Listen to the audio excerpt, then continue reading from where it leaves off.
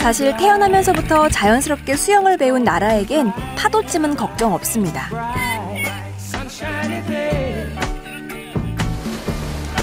그래도 남자친구 체면에 이대로 주저앉을 순 없는 법. 지원이가 나라에게 도전장을 내미는데요.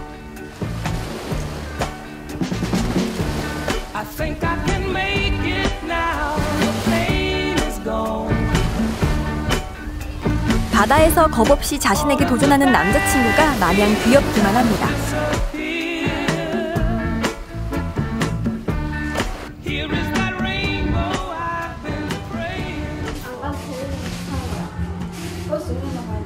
엄마 좀 이따가 정리해야 돼. 엄마, 언니, 엄마 좀 이따 봐. 안녕히 계세요. 얼굴만 봐도 웃음이 절로 날 만큼 즐거운 시절. 두 아이의 한여름 추억은 이렇게 조금씩 쌓여갑니다.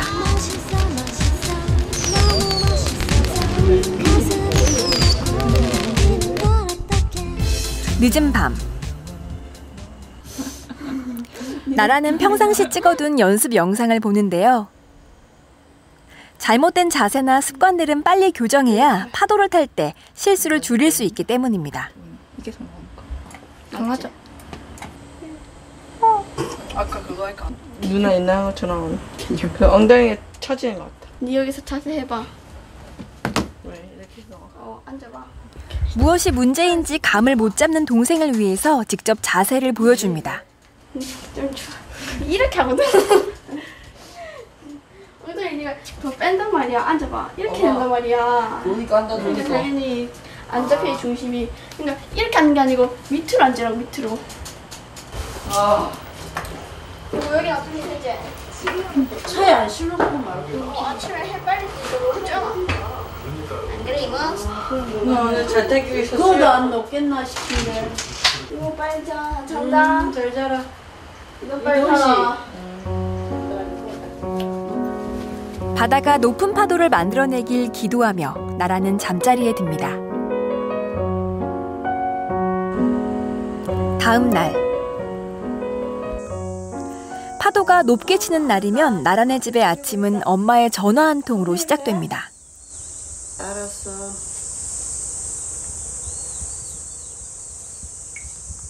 파도가 좋단다. 파도가 좋답니다. 혼자? 현대가 가기 좀 좋을 것 같답니다. 더구나 피서객이 몰리는 여름엔 해수욕장 개장 전후에만 서핑을 할 수 있는 상황. 그래서 아무리 피곤해도 시간을 놓쳐서는 안 됩니다.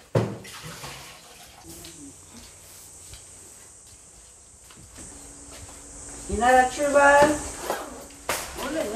일찌감치 바다에 나간 엄마를 대신해 이모가 아이들을 이끌고 해운대로 향하는데요. 선수급 서퍼들이 즐겨 타는 파도의 높이는 최소 1.5m 이상. 하지만 이런 파도가 항상 기다려주는 것은 아닙니다. 뭐야 이거? 해무이연. 있네 저기. 아닌가? 없다, 아무도.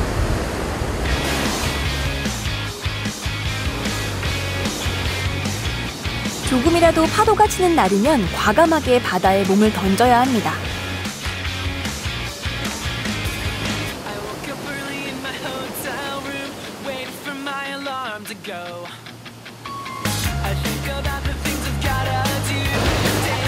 단순히 파도를 타는 것처럼 보이지만요. 엄청난 체력이 소모되는 스포츠인데요.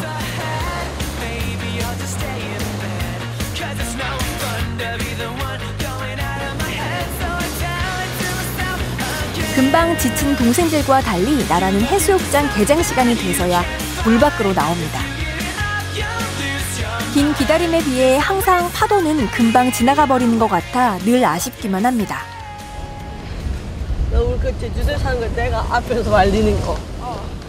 내 물에, 어, 내 물에 다 들어.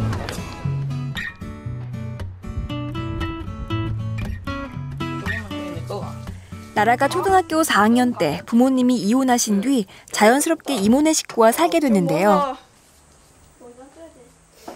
그 뒤 가게 일로 바쁜 엄마와 이모를 대신해 동생들을 챙기는 것은 큰 누나 나라의 몫입니다.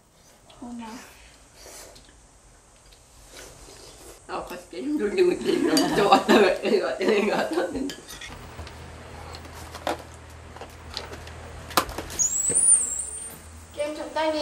的